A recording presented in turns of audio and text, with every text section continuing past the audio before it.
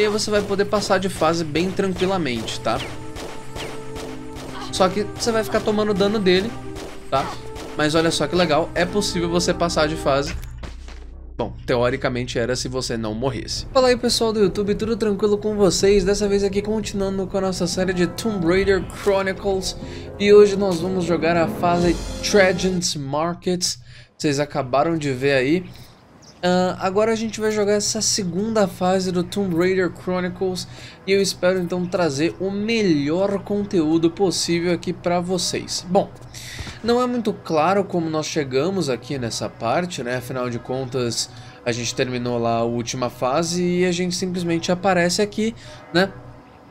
E não é muito contado direitinho. Bom, nós temos um total de três portas na nossa direita, duas na nossa esquerda e nós temos que visitar pelo menos duas de cada lado. Então, vamos primeiro na porta da nossa esquerda e atirar com as nossas duas pistolas, onde está escrito pericolo, ou perigo em italiano, provavelmente a gente vai pegar um crowbar e esse crowbar vai ser o que a gente vai utilizar para prosseguir nessa fase. Bom, aqui a gente vai atirar nessa caixa novamente e nós vamos ter mais um laser sight.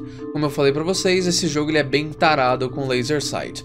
Bom, aqui vocês vão poder perceber que nessa parte aqui não tem muita coisa, então não há o porquê ver eh, a gente passar aqui. E aqui a gente vai vir só depois, então nossa próxima parada essa porta aqui de metal que a gente vai usar o crowbar para poder passar por ela, certo? Bem tranquilo, não é muito difícil, certo? Bom, beleza. Agora aqui a gente tem mais uma caixinha dessas que a gente vai usar o botão de agachar, vai atirar nela. E vamos pegar um Magic Kit pequeno. Olha que coisa maravilhosa. Temos algumas... Putz, eu esqueci o nome disso em português. Eu sei que em inglês é scaffolding, mas eu não sei em português como é que é. Mas, enfim. Vamos subir aqui nessa caixa e agora a gente tem uma, uma janela, eu ia falar uma window, pra vocês terem uma ideia. A gente tem uma janela ali e essa janela a gente vai pegar mais um medpack pequeno, certo? Bom, aqui a gente tem que tomar um pouco de cuidado na hora de voltar. O meu... Minha dica ideal é o seguinte, dá um passinho para trás aqui dentro dessa janela para você poder bater a cabeça ou pelo menos ter certeza de que você vai cair aqui exatamente onde você tem essa, essa mecânica da corda que nós vimos na fase passada. E bom, como todo mundo sabe, como todo mundo é, já manja do que eu faço, né? É, vocês sabem que eu costumo ler comentários e com essa série não é diferente. Então, enquanto eu passo por essa corda, o primeiro comentário eu gostaria muito de ler do Sr. Croft. Ele falou o seguinte, curiosidade do Tomb Raider 5. A versão do Tomb Raider 5 de Dreamcast é quase um Ctrl-C, Ctrl-V, só mudando os controles, claro, da versão de PC, enquanto o TR4 tem coisas que a versão de PC não tem e que tem no Dreamcast, como a sombra da Lara, por exemplo. E sim, isso é verdade, as sombras no Dreamcast são dinâmicas, coisas que aqui no PC não existem. Por exemplo, o que seriam sombras dinâmicas, Gabriel? Seriam sombras que se moldam, se moldam de acordo com o movimento da Lara e de acordo com uh, a forma como o jogo progride. Vocês podem perceber aqui, por exemplo, que a minha sombra, na verdade, é só um pontinho embaixo ali no chão, né? Enfim, beleza, primeiro comentário já lido. Agora a gente, se eu não estou enganado, nessa parte aqui, uh, não sei se possui alguma coisa ou se é na outra parte que possui alguma coisa. Eu tenho que ficar um pouco de olho porque tem munição de revólver em algum lugar e eu posso perder essa munição de revólver e não é, não parece ser aqui. Eu tô com um pouco de medo de soltar aqui e cair ali no, no, no limbo do nada. Então a gente vem pra cá nesse momento, certo?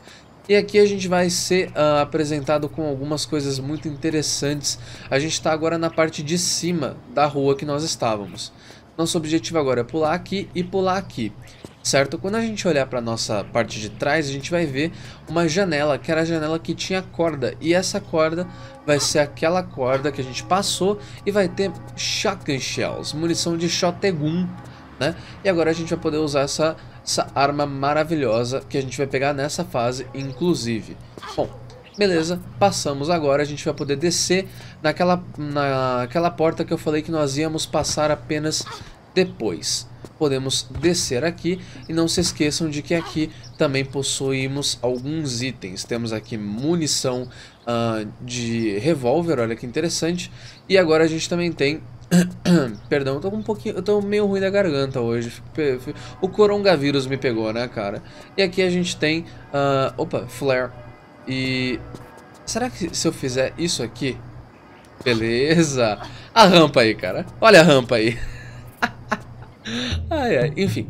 Bom, nós somos agora apresentados com essa cutscene que é quase que o primeiro puzzle assim do jogo propriamente dito, porque você tem meio que saber o que fazer no meio desse desse trambolho inteiro aí e tal, e isso é bem interessante. Bom, primeira coisa que a gente tem que saber e que a gente tem que fazer aqui nessa parte. Vamos pular aqui e vamos minimizar um pouquinho o nosso dano de queda caindo aqui. Este é o sapão, ele será útil porque ele vai abrir para o primeiro secret da fase. Olha que bacana, uma puta responsa, hein? primeiro secret da fase. Bom, aqui no nosso pilar, sendo o segundo pilar, na verdade o terceiro pilar, perdão, e o primeiro pilar uh, dessa entrada aqui da nossa direita, a gente vai ter então uma parte onde é possível escalar, bem aqui, e essa é uma parte bem interessante também, uh, porque a Lara ela vai fazer aquele movimento de se trepidar pelas o shimming across, foda-se, mas agora ela vai fazer um shimming around. E ela vai virar pro outro lado. Eu não, realmente eu não sei a tradução em português, eu peço perdão, realmente. Bom, enfim. Descendo aqui, vocês vão ser apresentados com dois lados. Aquele lado ali, que vai ser o lado que a gente, se eu não me engano, tem que ir. E aquele lado ali que a gente vai apenas depois. Bom, nossa primeira uh, medida aqui é pular para nossa direita, certo? porque nesse momento a gente vai ter que apertar três vezes uma corrente que tem aqui, bem nessa parte, e essa corrente vai subir aquela engrenagem que a cutscene mostrou pra gente. É isso? Exatamente. Três vezes. Bom, enquanto eu ah, simplesmente aqui subo essa, essa engrenagem, eu tenho um é, um comentário do meu queridíssimo amigo Secret Within e ele falou: Digo e repito, Tomb Raider Chronicles é um perfeito jogo para ser jogado em dias de chuva, frio, chocolate quente e edredom. Pois é, meu querido, tem dias melhores do que esses? Eu acho que não tem. Enfim, voltando aqui, a gente já puxou três vezes aquela aquela como é que é o nome? Aquela corrente. E agora a gente vai uh, pro outro canto, certo? Pro outro lado. Só que no meio desse, desses pulos que a gente tá fazendo, tem uma munição de Uzi ali que eu não quero perder nem a pau. Então a gente salva. Opa, meu celular aqui tava quase... Uh, tava quase apagando. Aí eu não ia conseguir ler o resto dos comentários. Bom, enfim... Temos aqui munições de Uzi, será bem interessante, a gente vai usar a Uzi, eu acredito que vamos usar a Uzi. Né? Pulando aqui para o outro lado, agora a gente vai poder pular para essa última uh, parte aqui da fase que tem mais uma corrente. Essa corrente então a gente vai usar para poder ligar essas engrenagens, então ela vai abrir uma parte pra gente que tem ali na frente, e essa parte vai tirar essa engrenagem maior do, do nosso caminho, certo? Fazendo isso, a gente vai conseguir pegar Uh, vai ser apresentado pra gente uma estátua, que a gente vai lutar com uma estátua parecida, não vai ser a mesma. Mas é uma estátua bem parecida, inclusive. Se não a mesma estátua, o mesmo modelo de estátua, enfim. Aqui, se vocês quiserem, vocês podem ir pra aquela... Pra aquele pilar ali que eu subi para não tomar dano de queda, mas eu acredito que seja desnecessário. Afinal de contas, é um Sliver of Life, né? Bem pouco mesmo. Descendo aqui, naquele alçapão que eu falei, na nossa direita, ou dependendo da sua orientação para sua esquerda, temos o primeiro secret da fase, que é uma Golden Rose, lembrando que cada fase tem três Golden Roses. Temos agora mais White Shot Ammo, certo? E a gente vai estar tá usando essas White Shot Ammo nessa fase. E temos aqui também mais um, Shotgun Ammo também, sem maiores problemas. Bom, Pego o primeiro secret da fase, né? Agora a gente vai pro lugar onde a fase abriu realmente. Bom, eu vou até acender um flare aqui, porque essa próxima parte ela é um pouquinho escura, tá? E pode ser que você não consiga ver direito. Nosso caminho que a gente tem que ir de certo é ali pra esquerda, mas se a gente for ali pra esquerda agora, alguns ratinhos vão spawnar e a gente não vai conseguir pegar uh, os itens que tem aqui uh, nos pés dessa estátua. Temos munição de revólver e munição, e munição não, e medkit, isso é bem interessante. Agora a gente pode ir para nossa esquerda, ou agora para nossa direita, melhor dizendo, né? E podemos então pegar com o crowbar que nós pegamos no início da fase, uh, uh, meio que uma moeda, acho que o nome é Ancient Coin, eu não tenho certeza, eu vou até dar uma olhada agora no inventário depois. Aqui, e agora a gente usa o crowbar nessa parte. Vamos ver. Não tenho certeza qual é o nome dessa moeda. Golden Coin, beleza. Agora os ratinhos já spawnaram, mas vocês não precisam se preocupar. Sobe aqui nessa, nessa partezinha, toma um certo cuidado, se você cair aqui, você vai ter essa Stumble Animation, pode ser que você acabe tomando um pouquinho de dano dos ratinhos, mas não tem problema. E você vai colocar a Golden Coin aqui no, nos pés dessa estátua.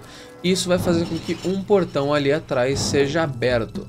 Bom, esse portão não tem tempo e é basicamente o portão por onde nós viemos. Então a gente na verdade fez um puzzle para poder abrir uma porta, se vocês olharem aqui especificamente para nossa direita, é o início da fase. Então, o que isso aqui fez? Foi abrir uma porta aqui para a gente conseguir prosseguir pela fase. Bom, por enquanto, não se preocupa muito, vamos só até o fim desse corredor aqui, porque tem uma munição de revólver que a gente vai precisar pegar, certo? E daqui a pouco a gente vai encontrar o primeiro boss do... dessa fase, eu acho que até o primeiro boss do jogo, a gente não lutou com nenhum boss na, na fase passada, né? Bom, vamos pular aqui na água, nessa água maravilhosa, e aqui a gente tem uh, um Medcat, um, um Medcat, né? Eu ia falar Medpack, mas Medkit ao mesmo tempo. Na nossa esquerda. E bem, subindo aqui, nosso principal objetivo é vir por essa porta aqui, que deve estar um pouquinho camuflada por causa da luz dinâmica do jogo. E agora a gente vai pegar, e antes da gente pegar, a gente vai ser... A gente vai ver esse Doutor Octopus do Tomb Raider, uh, do Tomb Raider Chronicles. Bom, é bem tranquilo, vamos só salvar essa, essa parte. Vamos pegar o revólver com o laser sight e qual que é e como é que a gente faz para matar ele rapidamente. A gente vai, uh, tá vendo bem o final desse ladrilho aqui? Bem o final, opa, eu fudi com a minha câmera, pronto. Bem o final tem uma divisão bem clara dos ladrilhos, a gente vai ficar bem uh, no meio dessa divisão e assim a gente consegue de forma facilmente de forma facilmente é foda, né? De forma fácil, dá dois tiros no olho e ele simplesmente despedaça na nossa frente, liberando, eu acho que é um Neptune Symbol, eu não tenho certeza. Eu tenho que ver, tenho que ver, tenho que ver. Deixa eu ver o nome, ou é um Mars Symbol. Vejamos. Qual que ele dropa pra gente. Mars Symbol. Bom, aqui a gente tem uma parte que é um Secret, tá? E a gente vai ver aqui mais pra frente, tá? Então não se preocupem, tá? Bom, agora a gente vai ter que descer por aqui nessa... Eu acho que tem munição de revólver aqui, exatamente. Vamos recuperar os tiros que a gente gastou, foram só dois. E aqui a gente tem que ficar bem nessa parte onde tem uma marcação, essa marcação aqui, no bueiro pra gente poder descer. E aqui a gente desce e vai começar uma trilha sonora maravilhosa, inclusive. E aqui a gente vai poder descer e vai pra água, nessa parte aqui. Aqui tem um Medpack pra gente pegar aqui também, né, bem na nossa frente. Vou tentar mostrar, ilustrar isso aqui pra vocês. Beleza. Agora a gente pode descer aqui, toma cuidado porque tem um, um, ventilador muito grande aqui e ele vai tentar fazer com que você não vá para baixo. E você realmente não consegue ir mais para baixo do que isso, tá? Agora a gente vai subir por aqui e isso vai levar a gente para uma válvula. E se eu não me engano para algum medkit também, eu não tenho certeza. Na verdade não, a gente vai pegar munição de shotgun e uma válvula. Essa válvula é a válvula que a gente vai usar naquela, naquela parte onde eu falei que tem um secret, né? E vai ser justamente isso que a gente vai fazer nesse momento, tá? Então, vamos lá. Agora a gente vai voltar pela parte aqui da água, certo? E essa parte aqui da água, ela pode ficar um pouquinho escura para vocês, é normal por causa da iluminação dinâmica do jogo. Eu até poderia desligar, se vocês quiserem eu desligo, não tem problema nenhum. Bom, tem que tomar um pouco de cuidado aqui, porque você pode spawnar alguns ratos se você vier para essa parte aqui, porque os bueiros ali pode trazer essa, esse tipo de, de tristeza aí para você, isso não é legal, certo? Enfim, subindo aqui, agora a gente vai poder voltar para onde a gente tem que ir. Bem, beleza, eu peço desculpas pelo corte que eu tive que dar, mas agora a gente vai subir por essa partezinha aqui, certo? Deixa eu só pular aqui atrás, pra gente não ter que ficar subindo toda hora, e aí a gente segura aqui e pula. Talvez eu tenha gasto mais tempo do que era necessário. Enfim, e aí a gente coloca a válvula. Vale lembrar que você tem que colocar a válvula e puxar a válvula, tipo, usar ela. Não, não conta só colocar. Assim você vai desligar aquele ventilador que estava lá atrás. Uh, bom, agora que a gente fez isso, a gente pode aproveitar que a gente está nessa sala e pegar o, opa, o segundo secret da fase, que encontra-se aqui em cima, nessa salinha aqui, pulando aqui, nessa parte de iluminação aqui, e ali a gente vai ver a segunda Golden Rose, olha que bacana.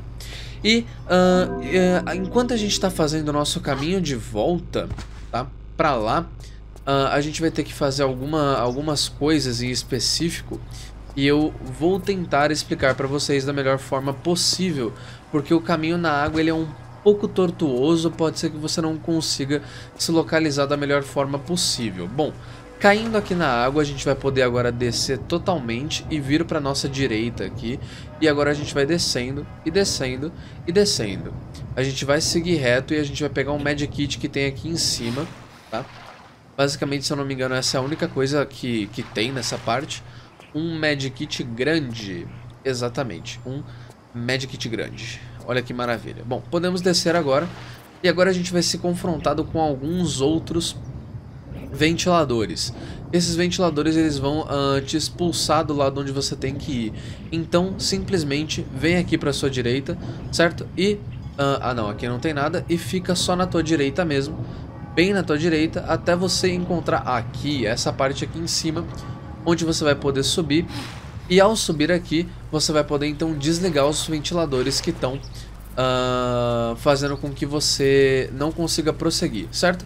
Mesmo esquema de antes, válvula e beleza, tranquilamente, sem erro. Tranquila, feito isso, agora a gente pode explorar aqui, eu não lembro se tem muita coisa, não, realmente não tem nada. Acredito que aqui também não possua nada, exatamente. Podemos então voltar agora, e agora que a gente está aqui na água, a gente pode prosseguir pelo caminho que os ventiladores estavam bloqueando. E esses são, eram esses ventiladores aqui, e o caminho é aqui diretamente para nossa direita. Diretamente para nossa direita é um pouco estranho até. Bom, mas não tem problema. Agora a gente vai subir, então a gente vai lutar com o primeiro boss da fase. Olha que bacana, cara. E esse primeiro boss, ele é um boss bem icônico no Tomb Raider Chronicles, porque a gente mata dois deles, certo? Bom, aqui a gente vai pegar então mais Shotgun Ammo. Temos aqui acho que dois pickups, não, um só. E temos a nossa querida Shari. Nossa Shari, Shari, Shari. Bom, agora o que, que a gente vai fazer? Fica nessa parede aqui da direita, certo? Bem na parede da direita mesmo. Saca a tua Shotgun certo? E salva o jogo caso você sentir a necessidade. Nesse momento, o melhor que a gente tem para usar é a shotgun, certo? Uh, pelo que eu sei, vai ser um, cerca de uns 10 a 15 tiros de shotgun para matar esse primeiro boss. Se você usar o revólver, é uma cerca de 30 tiros, então assim, é bastante coisa. Tá? Então agora a gente vai pra cá e aí o boss ele vai ficar flicando na tela, mas não tem problema. Beleza. Basicamente, ele é muito fácil de você matar, você só tem que ficar de olho quando ele solta essas partículas em você. Bom, vamos esperar a Lara mirar nele. Um, dois, três, quatro, cinco, ó, seis, sete, oito, nove, dez, onze, doze, treze, 14, 15. Opa, ele quis atirar um negócio em mim. E pronto, acabou tranquilamente, cara, sem levar dano, sem nada do tipo. Tranquilo, acho que foram 14 ou 15 tiros, não sei. Enfim, e agora abriu pra gente pra poder pegar o último símbolo que falta, que eu acho que é o Neptune Symbol. Eu não tenho certeza, vou dar uma olhada agora quando a gente pegar. Mas não vamos pra lá agora, nesse momento. Vocês devem ter escutado que uma outra porta se abriu. E se vocês observarem aqui, nenhuma porta se abriu nessa parte. Bom, Basicamente a gente vai vir aqui pegar mais um Medkit. Esse aqui é um Medkit pequeno. E a gente também tem mais Uzi Clips aqui. E a gente vai pegar essa munição de Uzi também. Agora subindo aqui nessa parte, a gente vai ter que ir para a esquerda porque a gente vai pegar o terceiro e último secret da fase, vindo aqui. Bom, enquanto eu vou pegando esse secret, eu tenho um comentário aqui maravilhoso do Juliano que ele falou o seguinte: Gabriel, eu vou até parar aqui para poder ler. Esta passagem da Lara em Roma se passa após o Tomb Raider 1 ou depois, porque tanto um quanto o outro, Larson e o Pierre morrem. Bom, muita gente tenta falar que na verdade não, que na verdade eles não morreram e tudo mais, mas numa entrevista dada, uh, foi dito que o Tomb Raider Chronicles foi feito sem o roteiro do Tomb Raider 1 em mente.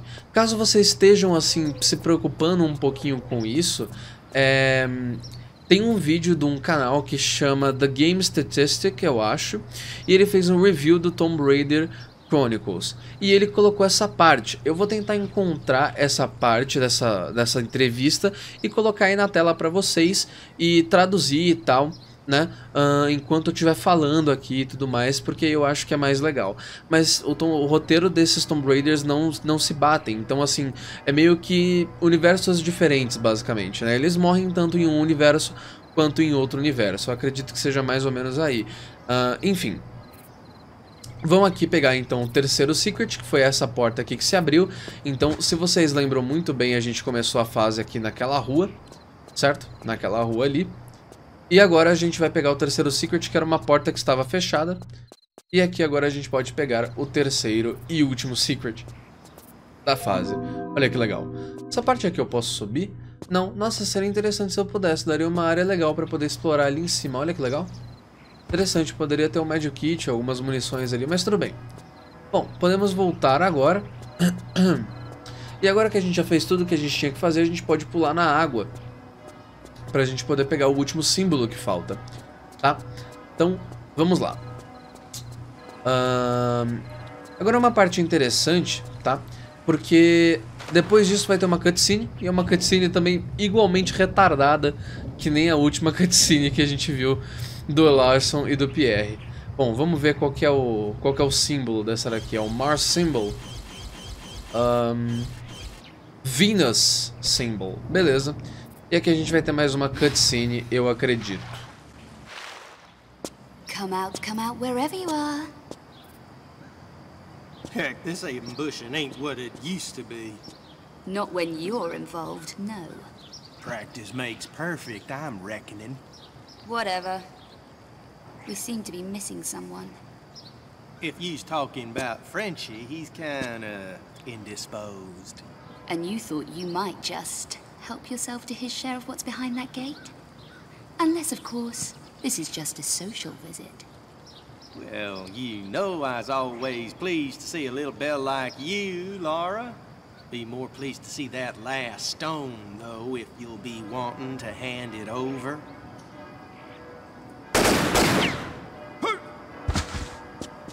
That ain't supposed to happen. O voice acting desse cara é ridículo, cara. Enfim. Bom, eu pausei aqui pra, por dois motivos. O primeiro, porque eu quero salvar aqui, hum, pra eu poder mostrar pra vocês algumas coisas.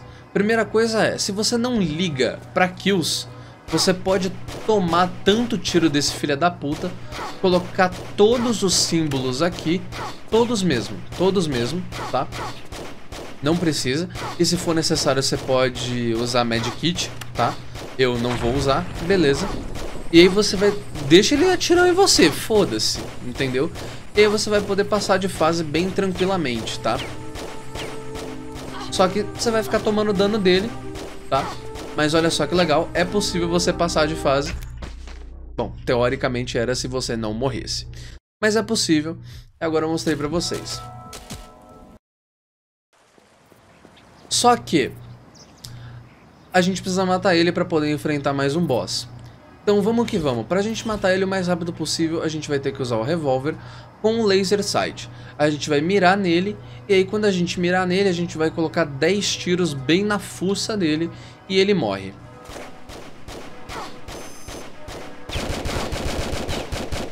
Por que, que eu usei o laser sight? Pra eu poder ficar atirando e spamando tiro que nem um retardado, tá?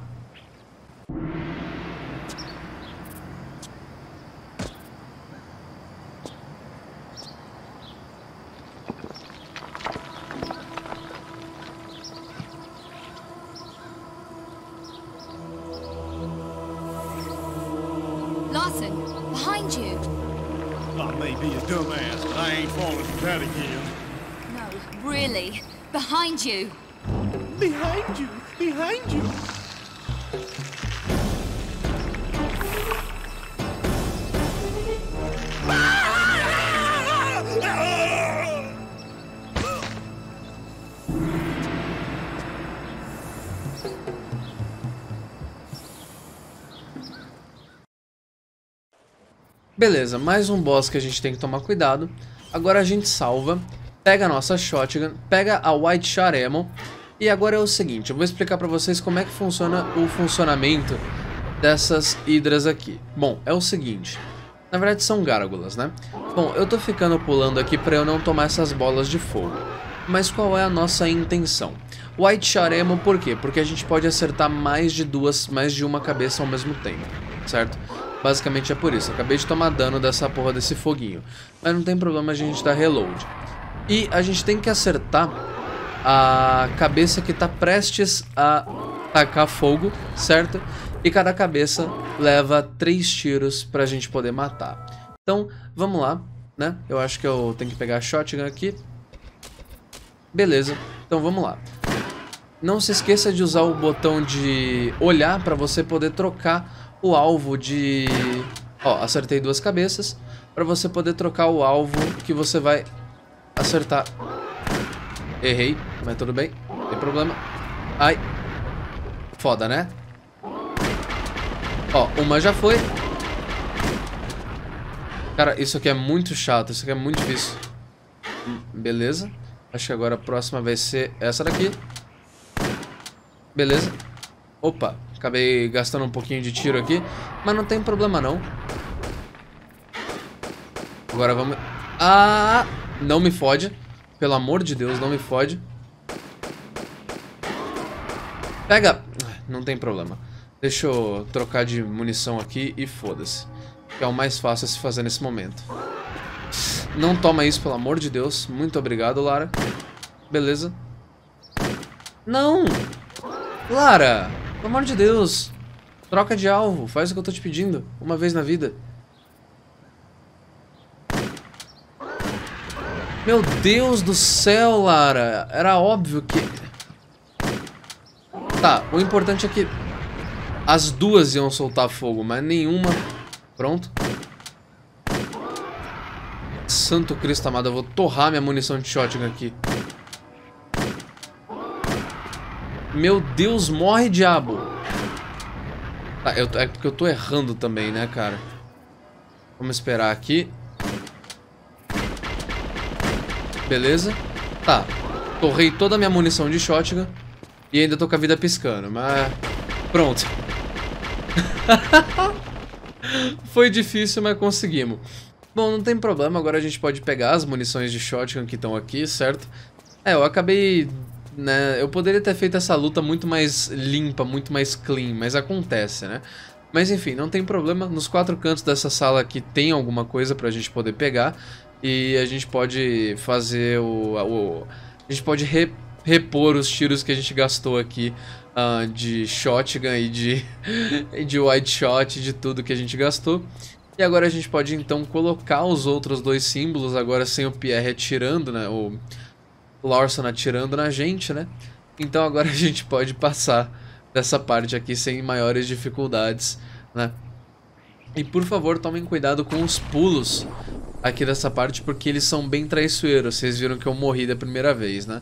Não é tão difícil, mas o importante é que aqui vocês salvem, tá? Porque pode ser que dê algum problema, pode ser que você acabe pulando errado e tal, e você não quer isso, então a gente salva aqui.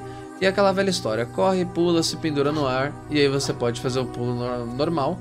E aqui também, só que agora você vai mirar na plataforma, mas a plataforma vai cair e você vai passar de fase. Então vamos agora para a fase do Coliseu. Que fase maravilhosa. Muito obrigado a todo mundo que acompanhou. Então, pessoal, esse foi o fim do vídeo da fase Trajan's Markets e a gente se vê no próximo vídeo. Um beijo e até a próxima. Tchau, tchau.